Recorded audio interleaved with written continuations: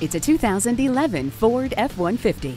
Designed with comfort and convenience in mind, it has a standard tilt adjustable steering wheel, air conditioning, stability and traction control, and a premium sound system with a mast antenna.